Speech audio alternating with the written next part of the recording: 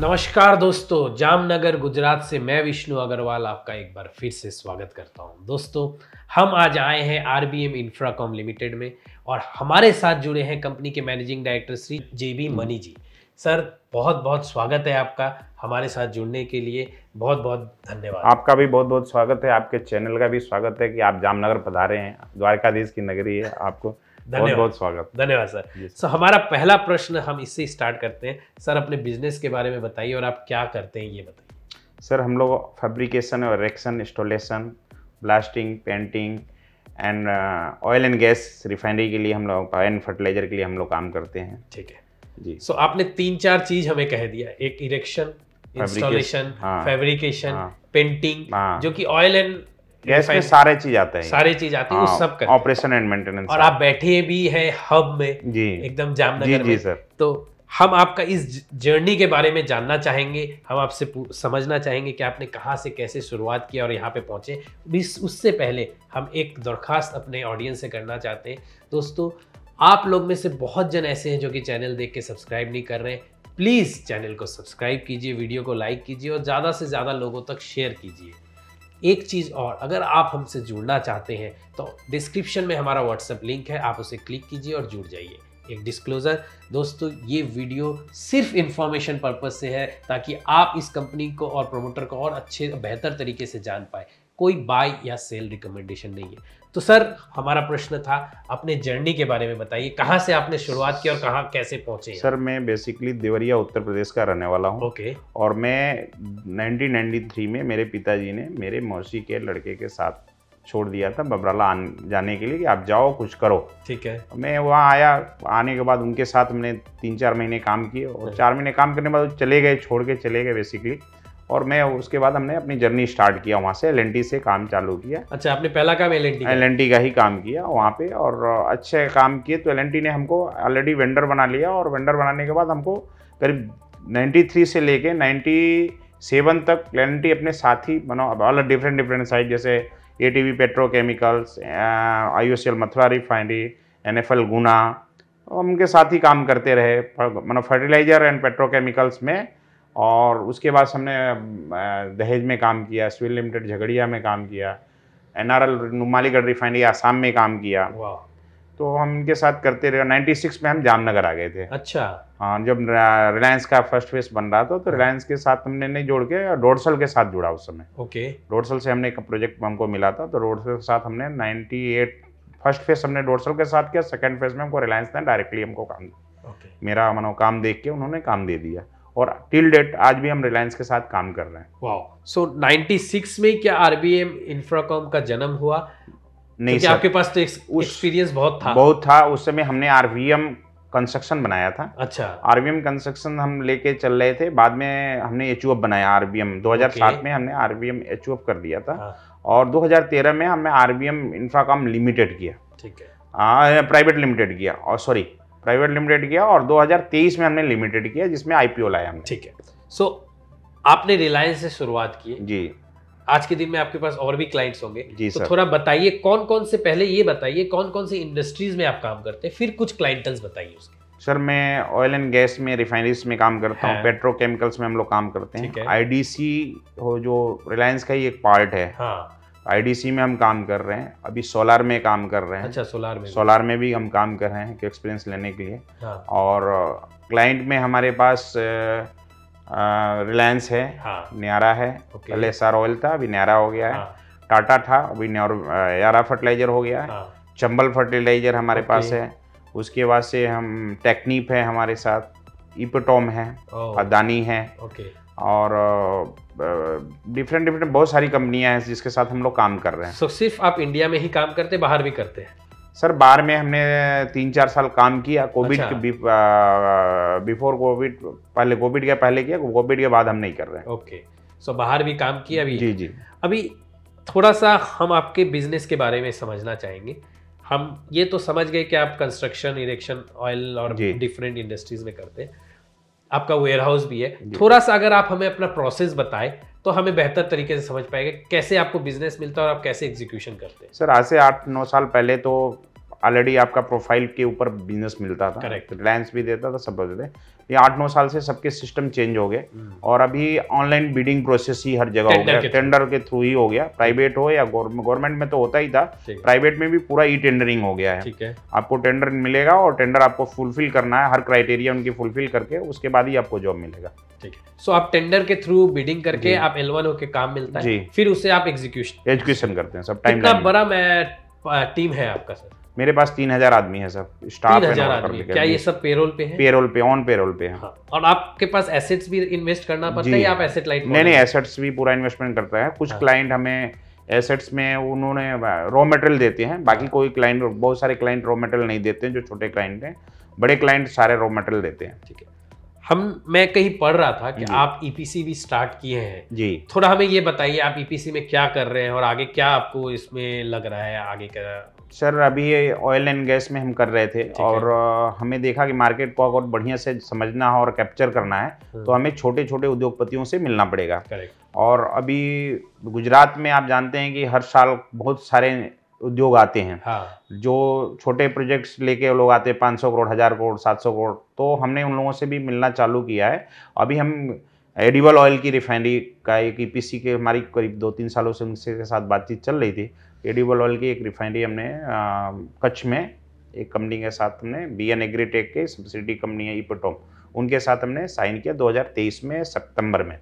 और वो हमको मिला है अब आपको भी हम कर रहे हैं उसको प्रॉपर वे में काम कर रहे हैं और क्लाइंट के तरफ़ से भी अच्छा रिस्पॉन्स मिलता है। आगे आपको अच्छा लग रहा है बहुत अच्छा लग रहा है सर बहुत अच्छा लग हम्म। रहा है। आप सोलर में भी वेंचर करें तो कोई सोलर कुछ बताएँगे कोई कौन सा प्लांट पे कहाँ कोई कौ- क्या काम कर रहे हैं सोलर अभी हम पे? अदानी सोलर का भी काम किए थे साहब। अच्छा। ता इसका कल्पतरू कल्पतरू के साथ हम काम कर रहे हैं. रिन्यूएबल के साथ काम कर रहे हैं। एग्जीक्यूट होके पूरा एग्जीक्यूट हो गया क्योंकि जब तक एक्सपीरियंस नहीं रहेगा तब तक आगे बड़ी कंपनियाँ देती नहीं है। तो हमने छोटे छोटे फॉर्मों के साथ काम करके और एक्सपीरियंस ले लिया तो अभी बड़े के साथ काम करने के लिए इच्छुक हैं ठीक है। हम आपके फाइनेंशियल्स के बारे में समझेंगे और बिज़नेस के बारे में समझेंगे। उससे पहले जो आपने हमारे जो पूरे आपके जो साइट से यहाँ पे विज़िट कराया है उस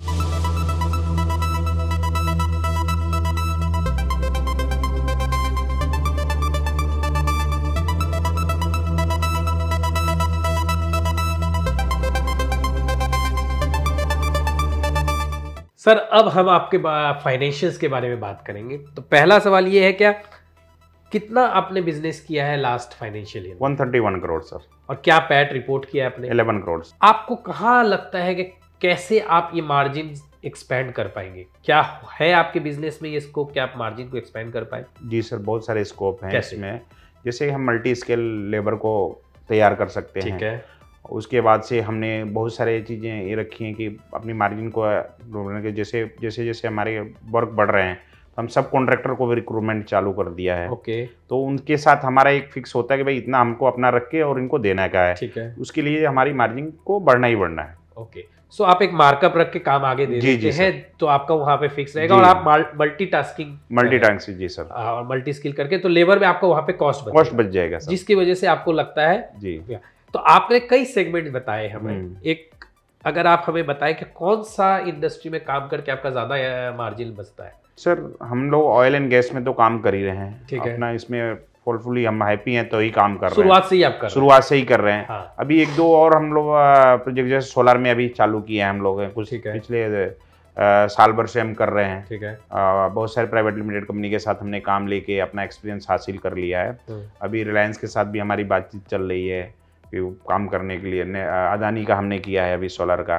ओके तो ऑलमोस्ट सोलर के कर रहे हैं। हम ग्रीन हाइड्रोजन पे के ऊपर भी हमारी अच्छा हाइड्रोजन में भी हाँ ग्रीन हाइड्रोजन के ऊपर हमारी टीम काम कर रही है? ओके हम उसके लिए पीपीटी की तैयारी कर रहे हैं कि भाई. पीपीटी हम एक रेडी कर लें। बहुत सारे टेंडर्स आ रहे हैं। अच्छा। ग्रीन हाइड्रोजन में आई के भी आ रहे हैं बीपीसीएल के भी आ रहे हैं एनआरएल के भी आए हुए हैं। लेकिन क्या है पीपीटी नहीं है इसके लिए हम लोग क्वालिफाई नहीं हो पा रहे हैं। सही है। फिर भी उसमें हम लोग काम कर रहे हैं कि शायद हो सकता है कि क्वालिफाई जल्दी हो जाएँगे हम लोग। तो आने वाले दिनों में और विस्तार करें। जी सर आपने टीम नहीं बताया आपके आप एमडी है और मैनेजमेंट में कौन है आपके? नेक्स्ट लाइन ऑफ़ मैनेजमेंट लेकिन अभी हमारा बेटा भी आ गया है अच्छा, आदित्य आपके- मणि त्रिपाठी वो भी आ गए हैं। ओके। इंजीनियरिंग वो कंप्लीट करके एस से आए हुए हैं तो हमने अपने साथ ही रख लिया उनको। अच्छा। और हमारे टीम में जो पुराने लोग आज 20 साल से जुड़े हैं वो लोग भी हैं हाँ, नए हमारे यहाँ सी आ गए हैं सी आ रहे हैं। आ, आ गए हैं ऑलरेडी मतलब टीम हमारी फुलफिल हो चुकी है अभी। और हमने एक अपना ब्रांच ऑफ़िस अहमदाबाद में भी डाल दिया है। ठीक है। और जो कि वहाँ के क्योंकि बड़ी सिटी है वहाँ पे बिज़नेस को ग्रोइंग का ज़्यादा स्कोप है। हाँ तो आप ब्रांचेस भी एक्सपेंड ब्रांचेज भी एक्सपेंड कर। ठीक है। फाइनेंशियल्स में एक अंतिम सवाल।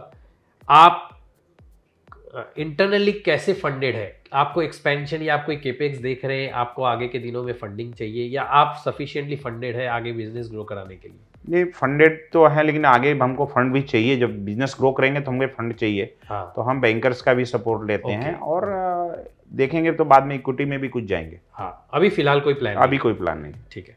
सर अंतिम सवाल जो कि हमारा विजन को लेके है कि आपकी कंपनी का क्या विजन है वो हम आपके नेक्स्ट जनरेशन से पूछेंगे जो कि आपने जैसे कहा आदित्य जी है। तो दोस्तों अब हम मिलते हैं आदित्य जी से जो कि कंपनी के नेक्स्ट जनरेशन ऑन्टरप्रेनियर है मनी जी के सुपुत्र है और जानते हैं कंपनी के बारे में उनका क्या विजन है। Hello Aditya ji welcome to. Our channel आपका भी वेलकम है sir thank you thank you thank you so much तो दोस्तों आज का अंतिम सवाल हम पूछने वाले हैं आदित्य जी की। आदित्य जी से जो कि कंपनी के होल टाइम डायरेक्टर है और सेकेंड जनरेशन ऑन्टरप्रेनर है। सर एक लार्जर पिक्चर हमेशा एक शेयर होल्डर देखना चाहता है। करेक्ट सर तो कंपनी का विजन क्या है? कहाँ आप कंपनी को ले जाना चाहते हैं नेक्स्ट पाँच साल में? ये बताइए। सर जैसा कि हम लोग जानते हैं India is the one of the fastest growing country in the world correct और जिसमें जो डोमिनेटिंग फैक्टर हमेशा से रहा है वो इंफ्रा का रहा है। हाँ। सो एज जैसा सर ने डिस्क्राइब किया हम लोग ऑलरेडी इंफ्रा में एस्टेब्लिश्ड है। हाँ। तो सबसे पहला मेरा मेजर गोल जो रहेगा वो ये रहेगा कि हम लोग जो इंडिया में टॉप टेन कंपनीज़ हैं हाँ। उसमें हम टॉप टेन में एज अ इंफ्रा एस्टेब्लिश्ड हो। Okay first thing second thing आप जानते हैं जो हमारा आने वाला जो फ्यूचर है in terms of everything you say it's a green energy thing ठीक है। So we want to establish as a solar solar solar factor factor the company in the world. Second, third thing is the green hydrogen, okay. which is the most outmost future project in the world. On I think every country in the world is uh, chasing it. Huh. So we are into that. Like it will be our the last and the most uh, precious project which we are going to do it. Huh. So the green hydrogen project will be our the final project. So we will establish as a whole summer production okay. as an infra company. in the So up EPC में sorry आप infra company में top ten में एक होना चाहते हैं। Correct. और आने वाले दिनों में ग्रीन हाइड्रोजन और सोलार में अपना फुटप्रिंट fledged establishment चाहते हैं चाहते हैं। बहुत बहुत धन्यवाद आप दोनों का। सर आपने बहुमूल्य समय दिया। काफ़ी इंस्पायरिंग है आपका जर्नी मैं आशा करता हूँ कि इस वीडियो को देख के काफ़ी लोग इंस्पायर होंगे और वो आने वाले दिनों में एक स्टेप ले पाएँगे ऑन्टरप्रीनियरशिप के तरह। आपके इन्वेस्टर को भी मैं आशा करता हूँ क्लैरिटी मिले। हमारे और हमारे दर्शकों की तरफ़ से बहुत बहुत शुभकामनाएँ और बहुत बहुत धन्यवाद हमारे साथ जुड़ने के लिए। Thank you sir thank you so much Thank you. तो दोस्तों ये थे कंपनी के मैनेजिंग डायरेक्टर और होल टाइम डायरेक्टर और हमने इनके बिज़नेस के बारे में समझा और जाना कि कंपनी आगे क्या करने वाली है और अभी क्या करती है। दोस्तों आशा करता हूँ आपको ये वीडियो अच्छा लगा होगा। फिर एक बार गुजारिश है अगर आपने चैनल को सब्सक्राइब नहीं किया है तो प्लीज़ कीजिए। चैनल को बड़ा बनाना बहुत ज़रूरी है ताकि हम और अच्छी कंपनी को आपके सामने ला सकें। और ये तभी हो सकता है जब आप ज़्यादा से ज़्यादा वीडियो शेयर करें और चैनल को सब्सक्राइब करें। फिर मिलते हैं एक नई वीडियो के साथ, नई कंपनी के साथ। तब तक खुश रहिए, सुरक्षित रहिए। नमस्कार।